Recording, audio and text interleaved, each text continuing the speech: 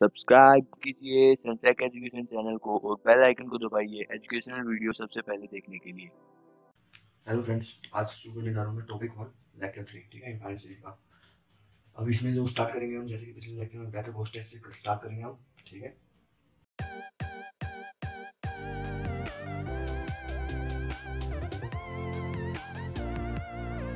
Ghost test होता क्या है? ये लिखते हैं गोस्ट टेस्ट आप साथ ही साथ नोट्स बना लीजिए, फ़ायदे में रहोगे। मैं तो ये कहना चाहूँगा गोस्ट टेस्ट पता है, पता हो तो आप खुद लिखने की भी ट्राई कीजिए ताकि रिविजन भी हो जाए। म्यून बी एस सीरीज़ अगर म्यून एक सीरीज़ है of positive terms then and upon plus one is equal to one plus lambda by n plus O order O मतलब ऑर्डर ठीक है? वन बाई एन स्क्वायर मतलब कोई एक एक सीक्वेंस है जो mu n upon mu n plus one का क्या फॉर्म ले रही है? One plus lambda by n plus फिर उसके बाद जो अगली टर्म आएगी वो वन बाई एन स्क्वायर की ऑर्डर आएगी, चाहे वो गामा ले लीजिए gamma by n square plus फिर गामा बाई एन क्यूब तो इन सबको हमने क्या कर दिया order one by n square ठीक है? Then the series is first convergent if lambda great, less, sorry, lambda greater than 1 and second, divergent if lambda less than equal to 1 ठीक है? इसमें कोई वो टेस्ट फेल नहीं हो रहा बहुत टेस्ट ये भी ध्यान रखिए, बाकी पिछले सभी टेस्ट फेल हो रहे थे लैम्डा इक्वल टू 1 पे, लेकिन ये टेस्ट फेल नहीं हो रहा, ठीक है? तो इस बात को ध्यान में रखिएगा इसमें। अब इसके ऊपर एक एग्जांपल करा देते हैं। आप खुद ट्राई करने की कोशिश कीजिए। ये तो पता है इससे ही होगा गोस्ट टेस्ट से।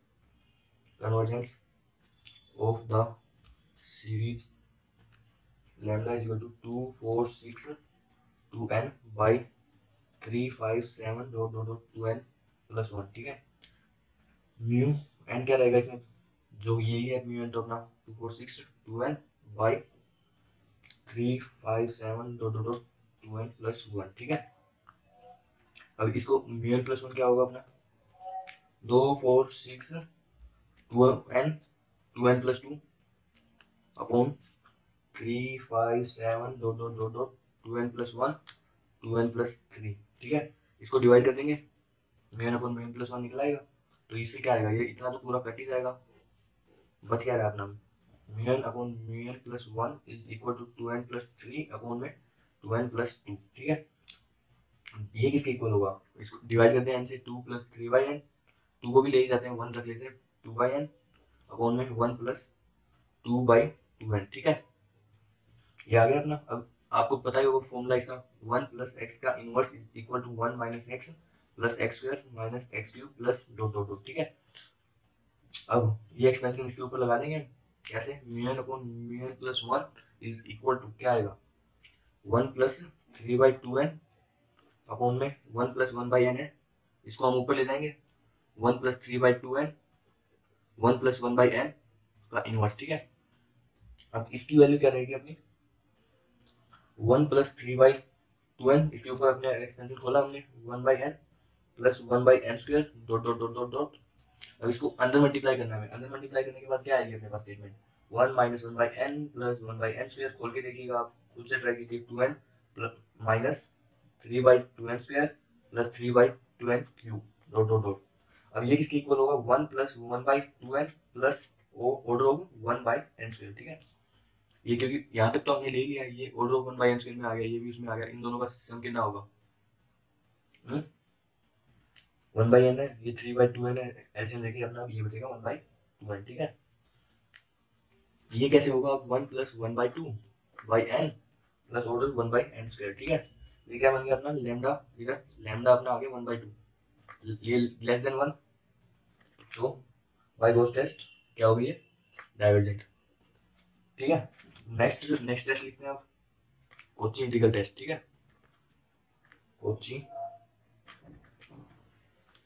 integral integral test Cauchy integral test क्या रहता है? कोची इंटीग्रल टेस्ट अभी if for x greater than one f x is non-negative non-negative mon monotonically decreasing function such that fx fn is equal to mu n, ठीक है? f function है एक, ठीक है? वो मोमेंटली डिक्रीजिंग है। Decreasing function है such that f1 is equal to mu n, हमने माना कि function mu n for all and then ये रियरली यूज़ होता है, बस एक तरह से आपको याद रहना चाहिए हाँ भी ऐसा भी कोई टेस्ट है। तो इसलिए लिखवा रहा हूँ, बाकी इसका कोई ज़्यादा इंपॉर्टेंट नहीं है। बाकी जितने इंपॉर्टेंट है वो पीछे हो चुके हैं कुछ टेस्ट आएँगे वो लास्ट में हो जाएँगे। दी इम्प्रॉपर इंटीग्रल वन से infinity f x d x and summation n is equal to 1 to infinity mu n. Convergent and divergent together. समझ आया? अबे इसको क्या मानना है? एक फ़ंक्शन मानना है उसके ऊपर इंटीग्रेशन करना वन से इन्फिनिटी अगर ये कन्वर्ट कर रहा है तो ये भी कन्वर्ट करेगा अगर ये डाइवर्जन कर रहा है तो ये भी डाइवर्जन करेगा ठीक है? आगे समझ अब कुछ पॉइंट्स लिखवाता हूँ नोट जो तक आपने पढ़ा है। और ये याद रखने के वो वाले पॉइंट्स लिखवाऊँगा, ठीक है? ये पॉइंट्स है, पहला पॉइंट नोट लिख लीजिए, ये याद रखने वाले पॉइंट्स है। पहला, n इज़ टू वन से infinity one by n p p greater than zero ठीक है? सेकंड बताइए कन्वर्जन कब लेंगे, ठीक है? तो n इज़ टू वन से infinity one upon n log n की power p p greater than zero third summation n is to two से infinity one upon n log n, log log n की power p p greater than zero अब ये इस type क्या है? इसमें क्या ध्यान रखना हमें? लॉग एन है, इसका डेरिवेटिव बाहर है। Log n log log n है, इसका डेरिवेटिव बाहर है। तो इन सभी केसेस में और ऑल अबव केसेस में क्या रहेंगे? कन्वर्जेंट कब? इफ़ पी ग्रेटर देन 1 पे divergent if p less than equal to 1 पे ठीक है, ये याद रख लेना। अब ये पॉइंट्स याद रहेंगे अब अगर ये पी नहीं होता ये होता क्वेश्चन खुद भी बना सकते हो। इसके ऊपर 1 अपॉन n log n है। तो ये डाइवर्जेंट रहेगा क्यों? log n की पावर 1 है। P क्या हो गया? Equal to 1 equal to one पे क्या है? डाइवर्जेंट ठीक है? इस तरह से आप कुछ क्वेश्चंस बना सकते हो ठीक है? ये क्वेश्चंस हो गए। ना हम्म, अब कराता हूँ मैं आपको इसका एक एग्ज़ाम्पल ठीक है? कोचिंग इंटीग्रल टेस्ट का। कोचिंग इंटीग्रल टेस्ट का क्या रहेगा? एग्जांपल वन से infinity f x d x is equal to one से infinity question question sorry question लिखना भूल गया मैं। क्वेश्चन क्या क्या लिख रहा हूँ इसमें? अच्छी तरह से लिखता हूँ। ये डायरेक्ट मैं करना था। एक क्वेश्चन बनाने की कोशिश करता हूँ इसके ऊपर। ये तो हमें पता है किसके को इक्वेट करना होता है म्यू एन के, ठीक है? ये होता है, इसके ऊपर एक क्वेश्चन लिखिए आप। Discuss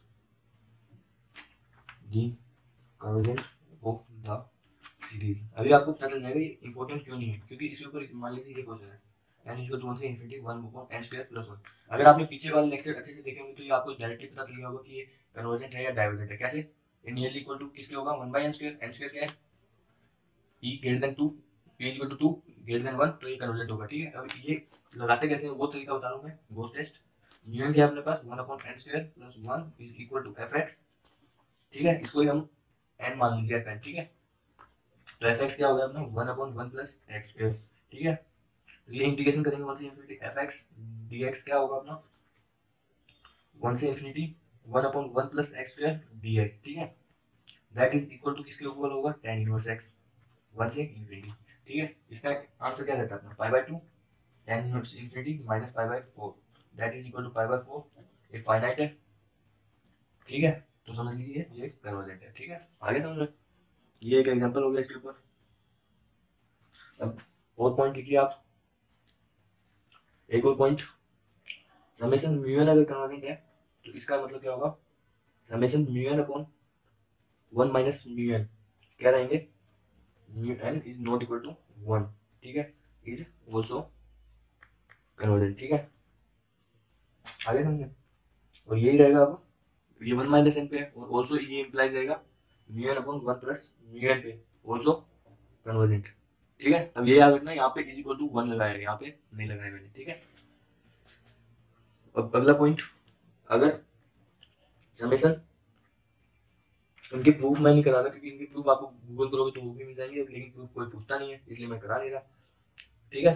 अगर म्यू एन का square and summation of v n का स्क्वायर आर कन्वर्जेंट तो then summation mu n v n is also convergent ठीक है? आगे समझो ये भी इसका प्रूफ अगर बोलोगे किसी का भी प्रूफ मैं करा दूँगा। अगर आप पेमेंट में लिख देना, अगर आपको किसी का भी प्रूफ चाहिए। टाइम वेस्ट होगा, इसलिए मैं लिखवा नहीं रहा अभी। बाकी मैं लिखवा दूँगा। अगर आपको आपको लगे कि आपको ज़रूरत है, आपको जानना है कैसे हुआ, ठीक है? तो मैं प्रूफ बता दूँगा अगर आप पेमेंट में डालेंगे, ठीक है? अगला है if mu n is convergent ठीक है? देन इसका मतलब क्या होगा? Summation mu n square is also convergent ठीक है? कन्वर्स नॉट कन्वर्स क्यों नहीं होगा? लेकिन कन्वर्स इज़ नॉट ट्रू पता है क्यों नहीं होगा? कोई एग्जांपल सीधा था वन बाई एन ले लीजिए आप, ठीक है? वन बाई एन डाइवर्जेंट है, लेकिन वन बाई एन का root one by root n भी डाइवर्जेंट है। इसका एग्ज़ाम्पल लिखना चाहे तो इसी टाइप का बनेगा, ठीक है? One by n square is convergent हाँ। One by n square is convergent उसका root one by n divergent ठीक है? इस टाइप ये एग्ज़ाम्पल था, इसके ऊपर। अब नेक्स्ट नेक्स्ट पॉइंट है if summation mu n square is convergent then summation mu n by n is also convergent ठीक है? याद रहेगा ये म्यू एन स्क्वायर है म्यू एन स्क्वायर अगर कन्वर्जेंट है तो mu n by n square भी म्यू एन बाई एन है सिंपल ठीक है? इज़ आल्सो कन्वर्जेंट याद रहेगा ये पॉइंट नेक्स्ट पॉइंट है। नेक्स्ट पॉइंट है अपना। इसके बाद जो पॉइंट आ रहा है, वो है first comparison test next test आ रहा है। ये बाकी सारे पॉइंट हो चुके हैं अपने जो नेक्स्ट टेस्ट लिखवा रहा हूँ, वो लिखिए नेक्स्ट टेस्ट का नाम है first comparison test, first comparison test क्या रहता है अपना? If summation mu n and summation v n be the series series of positive terms and mu n is less than k times mu n where k is any scalar ठीक है? Any scalar then, first point, summation vn is convergent. ये तो याद रखने वाली चीज़ है अगर ये वी एन है सॉरी ये वी आएगा, थोड़ी जल्दबाजी में कर गया मैं मिस्टेक ठीक है? V n be the series of positive terms and mu is less than k times mu k times v ठीक है? अगर म्यू इज़ कन्वर्जन तो implies mu is also convergence क्यों? बड़ा है ये, ठीक है? और सेकंड पॉइंट अगर एन इज़ डाइवर्जेंट यही छोटा वाला डाइवर्जेंट हो गया तो ये भी डाइवर्जेंट रहेगा, ठीक है? याद ऐसे याद रख सकते हैं इसे। वी एन इज़ डाइवर्जेंट ठीक है? ये पॉइंट याद रहेगा? अब नाउ ये पॉइंट्स हो गया। इसके ऊपर एग्जांपल कराऊं? इसके ऊपर एक एग्जांपल करा देता हूँ मैं। इसके ऊपर लिखिए, आप discuss the convergence of the sequence summation मैं पूरा क्वेश्चन नहीं लिख रहा क्योंकि आपको पता है मैं बोल रहा हूँ, काफ़ी होगा आपके लिए।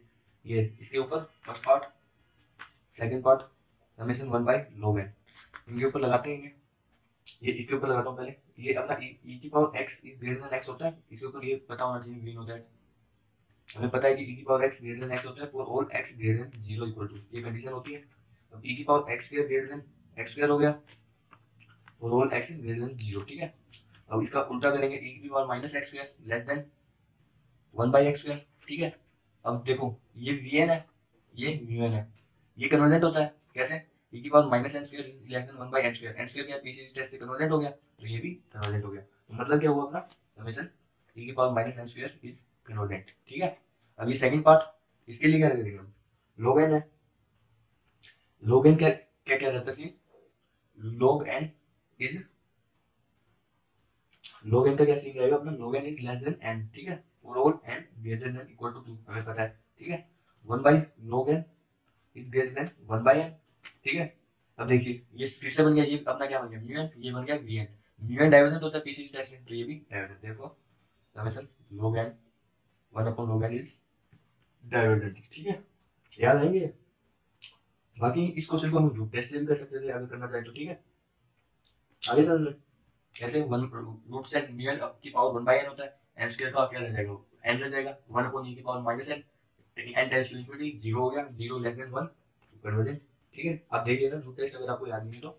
रूट टेस्ट में भी सीधा हो सकता था ये first part next question next point second comparison test comparison test इसमें क्या रहता है अपना? If summation mu n and summation v n be two positive term series and upon v n plus one is given then k times mine k times v n upon v n plus one ठीक है? Where k is any scalar quantity ठीक है?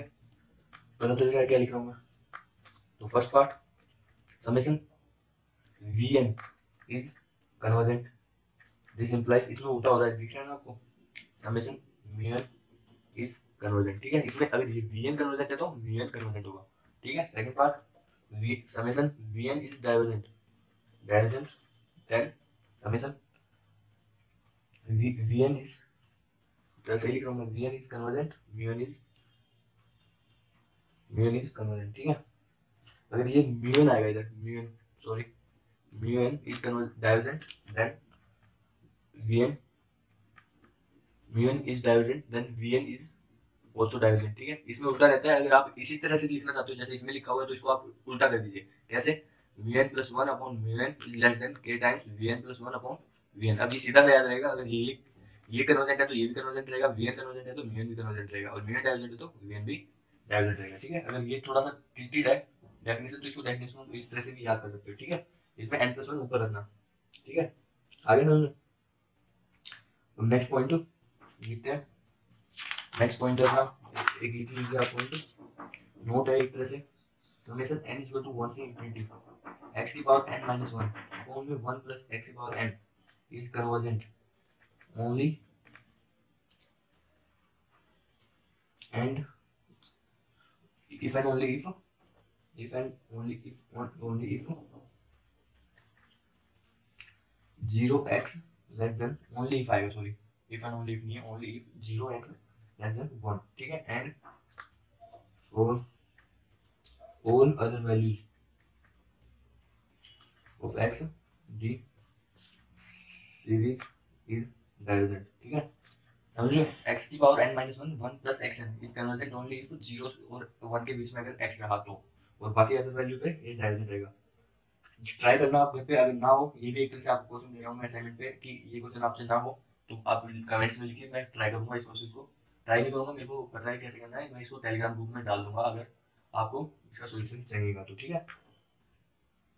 Now आप try ज़रूर कीजिएगा इसको कैसे करेंगे केसेस बनेंगे, इसमें तीन केस बनेंगे, ठीक है?